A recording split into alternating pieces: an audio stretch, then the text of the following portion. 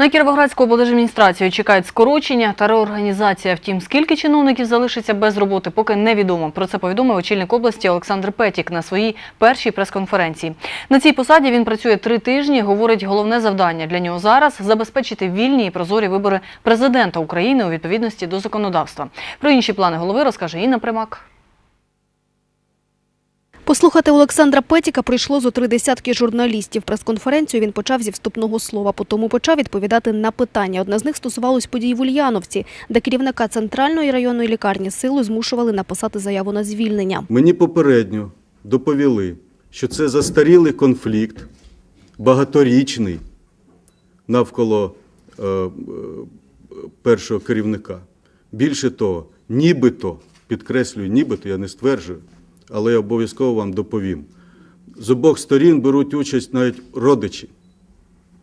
І партії, і Майдан, тим більше в районі Ульянівка, до цього не мають ніякого відношення.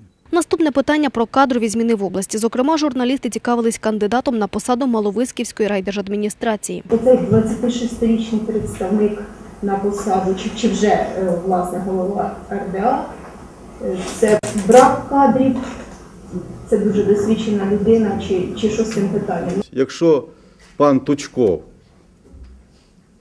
спрацює не так у свої 26 років, значить вся ця е, коаліція несе зараз відповідальність за стан справ спільно з головою обласної державної адміністрації. За словами посадовця, звільнятимуть не всіх чиновників, які працювали при попередній владі. Наприклад, заступник голови ОДА Галина Пастух, яка написала заяву на звільнення, вже завтра знову вийде на роботу. Проте цього разу у якості радника губернатора. У неї досвід з одного боку і незаплямована репутація е, як фахівця управлінця з другого боку дає можливість, і спасибі їй, що вона погодилася.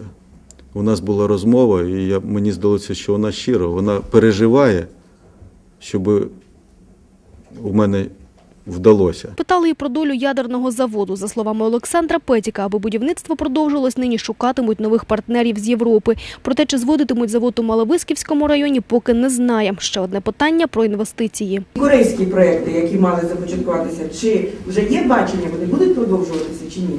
Це дуже хороша ідея. Сподіваюся, що для Андрія Івановича це е, питання честі, і він так, в принципі, і сказав, що у нього, як би сказати, все одно частинка серця тут, як у нормальної людини, яка тут приклад залишилась на території. І незважаючи на те, що він зараз уже в Донецьку працює, я думаю, що він допоможе Кіровоградщині е, з тим, щоб нормально приземлити цю інвестицію.